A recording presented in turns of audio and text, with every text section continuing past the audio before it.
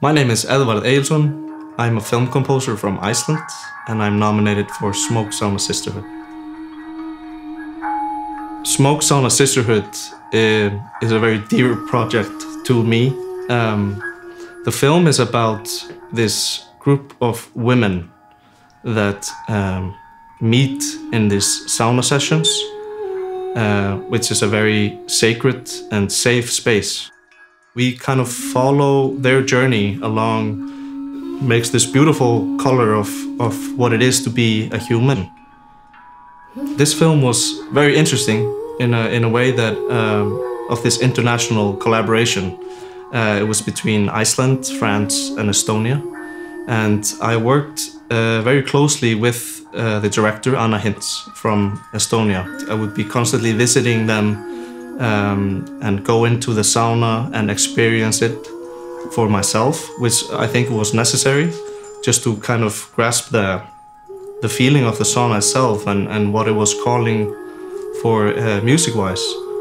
And uh, I collaborated with uh, Eeter, this band that uh, Anna Hints is a part of. We ended up not using any ordinary, I would say, instruments.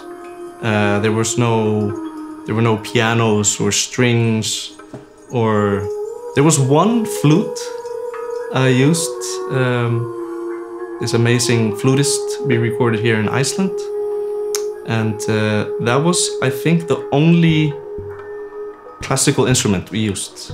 Uh, the rest was all these metal buckets and water and these body slaps from the women and we were recording shouts and anger and crying and whispers and all of these textural things. So it was very like a bridge between music and, and sound, really, which, which I've been wanting to do for quite some time.